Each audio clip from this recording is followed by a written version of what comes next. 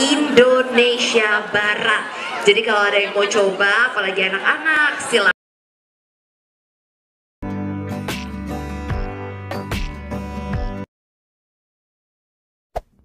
There. Subscribe to my channel. Event Dunia IFSC Climbing Cup Jakarta 2002 sukses digelar di SCBD Lot 16-17 Sudirman, disaksikan oleh warga Jakarta dan sekitarnya sangat antusias sekali terkena panas dan hujan tidak bergeming menyaksikan idola keliling dunia berlaga. Ketua Umum FPTI Yeni Wahid, Ketua DPR Ridwan Maharani dan Ketum NOC Indonesia Raja Sabta Oktohari nonton bareng di acara penutupan kejuaraan dunia panjat tebing di kawasan SCBD, Jakarta. Ketua Umum Federasi Panjat Tebing Indonesia FPTI, Yeni Wahid mengaku hampir tak percaya atletnya pada nomor lead climbing bisa tembus ke babak final kejuaraan dunia panjat tebing yang diadakan di SCBD, Jakarta. Atlet Indonesia Raffiandi Ramadan yang tampil pada nomor lead mencatat sejarah untuk Indonesia. Ia menjadi wakil Indonesia pertama yang menjejak final World Cup. Tampil di final, Raffiandi finish di posisi 8 dengan 22 poin.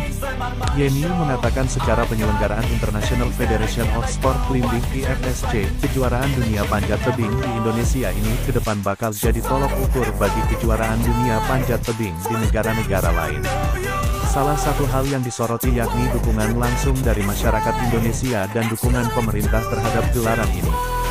Gelaran IFSC Climbing Cup Jakarta 2022 yang diselenggarakan di SCBD Lot 1617 Sudirman Jakarta Event World Cup yang paling baik di dunia dan buat mereka ini sebisa mungkin diikuti negara lain. Bukan perlombaannya tapi seluruh dukungan masyarakatnya, animo publik, dukungan pejabat publik itu buat mereka jadi catatan keseruan dari penyelenggaraan Piala Dunia.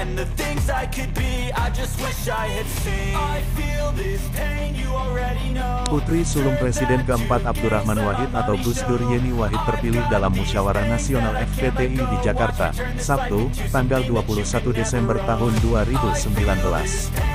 Ia terpilih secara aklamasi untuk menjadi Ketua Umum PPFPTI, menggantikan Faisal Riza yang memimpin pada periode tahun 2015 sampai tahun 2019. L. Ketua Federasi Panjat Tebing Indonesia FPTI, Yeni Wahid menjelaskan alasan mengapa kompetisi dunia panjat diadakan di lot 16-17, Sudirman Central Usinis Distrik SCBD, Jakarta Selatan, 24-26 September tahun 2022. Menurut Yeni Wahid penyelenggaraan IFSC Climbing World Cup Jakarta 2022, awalnya akan digelar di World Climb Cakung karena lokasi tersebut belum diresmikan. FPTI sebelumnya ingin menggelar kompetisi dunia panjat tebing tersebut di Gelora Bung Karno, GBK, tetapi pada tanggal yang sama, terdapat festival musik yang digelar di GBK. Menurut Yeni, panjat tebing harus dilakukan dengan suasana yang hening, karena itu, FPTI menggelar kompetisi dunia tersebut di lot 16-17. SCBD Sudirman Ketua Umum, Ketum Komite Olimpiade Indonesia NOC Indonesia, Raja Sabta Oktohari, dalam gelaran final kejuaraan dunia panjat tebing IFSC World Cup Jakarta 2022 di kawasan SCBD. Menurut Okto, penampilan apik para atlet panjat tebing Indonesia jadi modal yang bagus guna bisa tampil di Olimpiade Paris 2024.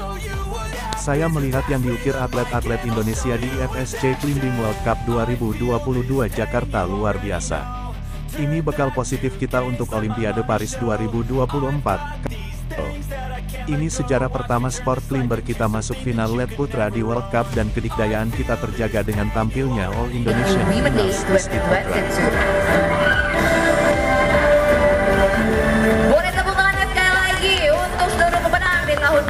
2022 ini. Congratulations, Yania from Slovenia, Jaehyun from Korea, and Natalia from United States of America.